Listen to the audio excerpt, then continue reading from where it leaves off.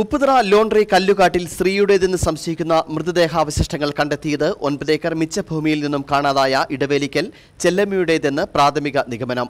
കാണാതായ സമയം ചെല്ലമ്മ ധരിച്ചിരുന്ന സെറ്റർ കണ്ടെത്തി.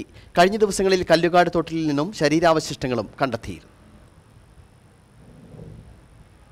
പൂട്ടിക്കിടക്കുന്ന പീരുമേട് ടീ കമ്പനിയുടെ ലോണ്ടറി എസ്റ്റേറ്റിലെ കല്ലുകാട് ഭാഗത്താണ് ശനിയാഴ്ച രാവിലെ മൃതദേഹാവശിഷ്ടം കണ്ടത്. കൃഷിപ്പണിക്കെത്തിയ പ്രദേശവാസിയായ ജയകൃഷ്ണനാണ് സമീപത്തെ അരുവിയിൽ തടഞ്ഞു നിൽക്കുന്ന നിലയിൽ അവശിഷ്ടം കണ്ടത്. ഇതിന് നൂറ് മീറ്റർ മുകൾ ഭാഗത്ത് തോട്ടിൽ തന്നെയാണ് തലയോട്ടിയും മറ്റു ഭാഗങ്ങളും കണ്ടെത്തിയത്. ശനിയാഴ്ച ശരീരാവശിഷ്ടം കണ്ടതിനെ തുടർന്ന് നാട്ടുകാർ നടത്തിയ തെരച്ചിലാണ് തലയോട്ടിയും മറ്റു ഭാഗങ്ങളും കണ്ടെത്തിയത്. ഇതിന് സമീപത്ത് തന്നെ ഒരു സെറ്ററും കണ്ടെത്തി. ഒൻപത് ഏക്കർ മിച്ചഭൂമിയിൽ താമസിച്ചിരുന്ന ഇടവേലിക്കൽ ചെല്ലമ്മയെ ഓഗസ്റ്റ് ഏഴ് മുതൽ കാണാനില്ലായിരുന്നു. ഇവരുടെ ശരീരത്തോട് സാമ്യമുള്ള മൃതദേഹത്തിന്റെ ഭാഗമായിരുന്നു കണ്ടെത്തിയത്. തലയോട്ടിയും മറ്റു ഭാഗങ്ങളിൽ ലഭിച്ചതിന് സമീപത്തു നിന്ന് ലഭിച്ച സെറ്ററാണ് ചെല്ലമ്മയെ കാണാതാവുമ്പോൾ ചെല്ലമ്മ ധരിച്ചിരുന്നത്. ഇതോടെ ബന്ധുക്കൾ മൃതദേഹം ചെല്ലമ്മയുടെ നിന്ന് ഉറപ്പിച്ചുവെങ്കിലും ശാസ്ത്രീയ തെളിവ് ലഭിച്ചാൽ മാത്രമേ മൃതദേഹം ചെല്ലമ്മയുടേതെന്ന് പറയാൻ കഴിയൂ. Idukki vision news Upputhara.